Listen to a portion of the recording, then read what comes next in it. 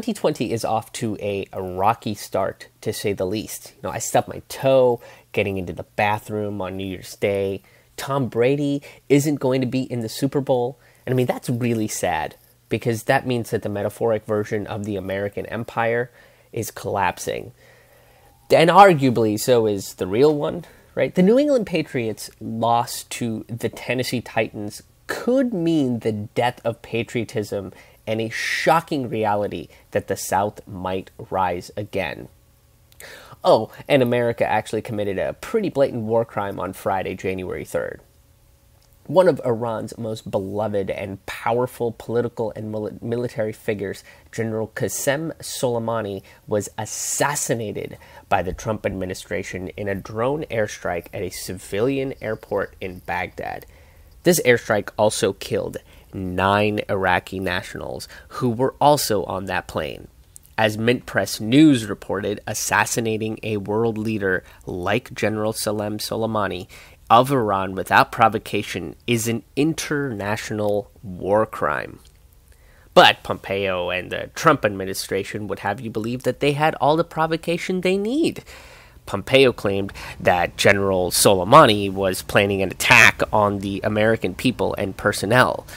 When asked what evidence he had for this claim, the response was very similar to the WMDs of Iraq back in 2002. You know, there's proof, but you but you have to like squint your eye, but like not don't squint your eyes like all the way, like third like a 38.2% squint and then like tilt your tilt your head like slightly slightly past when you feel like a little pinch down your spinal column and then look west. But like not all the way westward like kind of like south-ish northwestward. And then lean back just like a little bit just like not just like a little and then you can see it. And then you can see the attacks that general soleimani was planning. The state department's evidence is about as interpretive as a jackson pollock painting. In fact, Pollock's painting are a lot more straightforward and evident of drug use. Whereas with the State Department, you can't really tell what drugs they're using, but you know that it's a mixer mix of uppers and probably also bath salts and doing LSD the wrong way. These people give interpretive drug use a bad name. The truth about this attack was that General Qasem Soleimani was on a peace negotiation with Iraq as the Grayzone reported, Iraq wanted to have peace talks between Saudi Arabia and Iran, and General Soleimani was there to discuss these talks. In fact, the Prime Minister of Iran called Trump about these peace talks, and Trump praised him for it. And then drone bombed one of the top officials of the Iranian government as a reward, maybe? Maybe he wanted to congratulate the prime minister, and instead of saying, get them a bouquet of daisies, he said, drone bomb the shit out of them. Co- common mistake. It's a common mistake for anybody going through the early stages of senil- senility and dementia. And let's be honest about drone warfare. It's just as bad as troops on the ground. All drone warfare does is gamify actual warfare. I bet some drone pilot received a high score reward for this. Instead of a purple heart, they got a Star Fox patch and a framed photo of whoever the main character from Medal of Honor is. Pompeo, Bolton, and the CEOs of the war profiteering corporations fear peace in the Middle East. That means that they don't get to play both sides and reap all the rewards of bloodshed. The fear of peace is evident in the way Pompeo reacted after the assassination. He claimed that American lives everywhere, including Iran and Iraq, are safe. But all Americans should evacuate immediately for safety. Why would they leave if they're safe? I mean, wouldn't it have been better and more beneficial to your lie if you just told all Americans to wear like a Groucho Marx esque disguise and stay put? Everything is fine. Just speak with an accent that you're good at, uh, at which is like not an American one, though. The whole world's mouth is agape at this blatant war crime that was committed by the American presidency. Germany is calling this a dangerous point of escalation, and and the Germans are are very familiar with all dangerous points of escalations. Okay, they used to be the master race of escalators. That's the only thing they became a master race of. That and a very efficient porn. China wants both sides to de escalate, which didn't really happen. Iran's supreme leader Ayatollah Khamenei vowed revenge and then attacked two U.S. bases in Iraq as an act of retaliation. More on that shortly. Trump decided that he threatened to destroy historic and religious areas if Iran threatened to attack uh, America again. What's next? A Yo Mama So Fat contest with ballistic missiles and drone warfare? It's astounding that the leaders of two large countries have the emotional maturity of schoolyard children.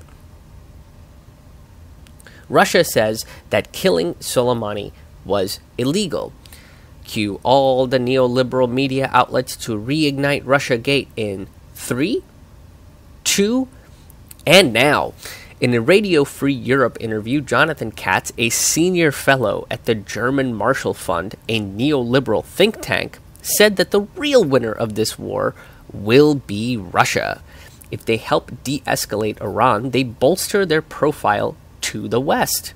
They've been trying to get back into the G8 since they were kicked out for attacking and annexing Crimea in Ukraine. Katz claims that they're opportunistic, and this is their opportunity to rejoin the West as a prominent figure. Now, I'm waiting for the media to start overusing the word collusion and quid pro quo again so that they can say Putin told Trump to do this so they can broker peace and become a world power and then communist our babies. Reminder Russia is a capitalist country.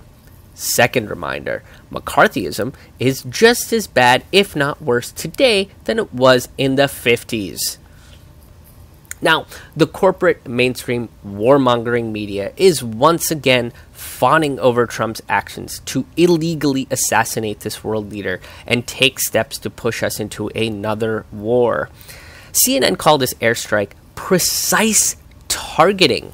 Yes, it's very precise to not just kill your target, but also nine other Iraqi officials and decimate a civilian airport. CNN has become so anti intellectual, they think scorching the earth with a drone based airstrike is precision. I bet they think book burnings are a proof of a nation's high literacy rate. The Washington Examiner said that this assassination was more important than bin Laden's death. And depending on who you're talking to, this is true. If you're talking to warmongers and sociopaths like Mike Pompeo, John Bolton, Donald Rumsfeld, Hillary Clinton, then yes, this is more important than bin Laden's death because the assassination of Soleimani might actually give them a war with Iran that they have been itching for for over 30 years. For everyone else, this is a new nightmare we have to live with as our friends and loved ones are sent to go fight rich men's wars for resources again. Of course, Fox News praised Trump for his actions, but they usually praise him for his morning bowel movement, so that's not much of a surprise there. CNBC, on the other hand, said that the Trump administration just took out the world's number one bad guy. The number one bad guy in the world. So let's see if this accusation levied by CNBC is actually true or if this is all part of the same false narrative woven by the State Department and their war hawks. General Qasem Soleimani was one of the most respected and beloved figures in Iran. He's like what Tom Brady is to the New England area. Back in the 90s, Soleimani led the Islamic Revolutionary Guards Force, or the IRGC, to battle against Saddam Hussein. At that time, Hussein was being funded and armed by the United States. Lest we forget the damning photographs of Donald Rumsfeld shaking hands with Hussein in the early 90s. Hussein killed over a million Iranians, and Rumsfeld was gleefully eating dinner with a new business associate. Soleimani is also the leader of the IRGC's Quds Force. They're like the New England Patriots of the Middle Eastern Special Forces. Lots of wins and a lot of blood on their hands. The Quds Force is responsible for pushing back Saudi Arabia's Wahhabi led terror groups and ISIS in Syria. In fact, when Mosul was being attacked in 2014, it was Soleimani and the Quds Force that was responsible for the defeat of ISIS. And in terms of fighting Wahhabism, they've been battling Al Qaeda and the Taliban in that region as well. And lest we forget, the Saudis are like America's second best friend in the region. Trump just sold them a shit ton of weapons, or as it's properly known, the Empire's friendship bracelet. Now, by no means am I saying Soleimani is the bright shining star of the Middle East. The Quds Force is very anti Israel to the level that they don't believe that Jews should have their own state. Quds means Jerusalem, and they believe that Palestine should be in control of that region. They've also supported and assisted their proxies like Hamas and Hezbollah to wage terror in that region as well. As Kim Iverson points out, Iran has always had three goals eliminate Western influences, anti Israelism, and prevent Saudi led Wahhabism. This is why they're America's enemies. They want to be their own country and in charge of their own resources, ideologies, and trade. They aren't because of Western sanctions and influences. Iran just discovered an additional 50 billion barrels of oil, putting their full capacity at 150 barrels. America wants all of it. Through war and selling weapons to both sides, the US and its proxies want to control the region's resources and create the United States of the Middle East, plus Israel and Saudi Arabia. So, back to the initial question we had a few minutes ago Is General Soleimani the number one bad guy of the region? I'd say he's a complicated figure that's done a lot of bad things, to put it lightly. Soleimani has a lot of American, Israeli, and even Palestinian blood on his hands. But the number one bad guy in the Middle East is the American war economy. They profit off bloodshed from all sides. They sell American weapons to anyone with a checkbook. Which is weird. Who's who's taking checks these days? Now, as the recording of this podcast, Iran did attack two U.S. military bases in Iraq. The foreign minister of Iran, Javad Zarif, said Iran took and concluded pr- proportionate measures in self defense under Article 51 of UN Charter targeting base from which cowardly armed attack against our citizens and senior officials were launched. We do not seek escalation of war, but will defend ourselves against any aggression. Publications like the USA Today state that state that this is an act of war, ignoring the fact that America had no provocation to attack Soleimani's plane in a civilian airport. But these escalations have been a long time coming. The United States has been acting as an irritant to Iran as in order to provoke them in an attack for a long time. In recent years alone, Trump pulled out of the nuclear deal and imposed economic sanctions on them in 2018. Then in 2019, they claimed that Iran attacked a Japanese oil tanker after the Iranians shot down an American surveillance drone. And now here we are. Right? This is like the international affairs version of stop punching yourself. Instead of that, it's it's it's stop provocating war on yourself. Stop provocating war on yourself. Stop provocating war on yourself. And an escalated action by Trump also makes sense considering the impeachment charade. The only time both the Democrats and the Republicans and all of the media have called him presidential is when he used military force against the country.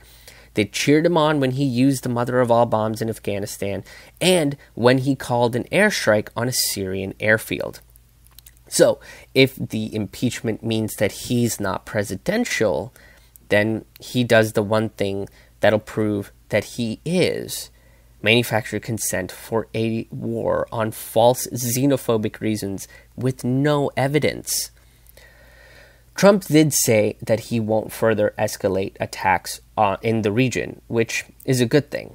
But he's going to slap further economic sanctions, which gets the supreme leader of Iran to keep chanting his favorite anti American slogans. But it, doesn't mean they won't continue to try and manufacture more consent for war by being an irritant to Iran. By pretending like America didn't do anything wrong in the situation, doesn't get away from the prospects of war, it just delays it. And if there's anyone out there that is saying, well, having a Democrat in the Oval Office would have made a difference, they're wrong. Barack Obama increased drone warfare in the Middle East. This was this program killed civilians, including Americans. Clinton started proxy wars in Somalia and Eastern Europe. Hillary Clinton was itching at this war just as much as Pompeo and Bolton. And Joe Biden isn't criticizing the administration on an act of war, but rather the execution of it. Congresswoman Tulsi Gabbard is one of the few presidential candidates that has spoken out against wars like this since the start of her campaign and even before. Gabbard had a bill about ensuring that uh, Congress would have to approve acts of war. Nobody wanted to sign it or co sponsor it. Bernie Sanders, working with Ro Khanna, has a bill in the Senate that would restrict military funding for offensive actions unless it was approved by Congress. That's two out of 188 Democratic candidates that would stand up against the military industrial complex and the American war economy. And those two candidates are viscerally hated by the Democratic Party. So, again, no, a Democrat in office wouldn't mean less wars. Both parties are the war party and the legislative wing of the American war economy in tandem with the corporate media, which is the propaganda wing of the American war economy, they would push this country into another war in the Middle East. This only further complicates things in the region and sends us into even more shades of gray. More importantly, it sends more of the middle class to fight for rich people in their wars. And at this point in our history, we don't need more brothers and sisters in arms. We need more brothers and sisters in peace. I will be on tour across the country in 2020. If you want to check out my entire tour schedule, please go to my website, ramannoodlescomedy.com. That's R A M A N noodlescomedy.com com. On January 17th, I'm going to be coming to Caffeine Underground in Brooklyn, New York. Very rare performance. I don't perform very often in New York City, so this will be uh, this will kind of be a rare performance in New York City. Uh, January 24th, I'll be at La Castaneda in Lancaster, Pennsylvania for Lanc Out Loud Comedy. On January 25th and 26th, I will be opening for Lee Camp at the Ruba Club in Philadelphia, Pennsylvania. We just added a second show. Tickets are available for that second show now. January 29th, I'm at the 730 Tavern in Boston, Massachusetts with Anderson Comedy. January 31st, I'm at the Apohadion Theater in Portland, Maine. February 7th, I'm at the Marquee Theater in Middlebury, Vermont. February 8th, I'm at the Revelry Theater in Burlington, Vermont, February 9th, the Woolen Mill Comedy Club in Bridgewater, Vermont. February 10th, I'm at the Skinny Pancake in Burlington, Vermont. February 11th, I'm at the Boulder Coffee in Rochester, New York. And on February 15th, I will be in Pittsburgh, Pennsylvania at the 3rd Street Gallery for a super special show.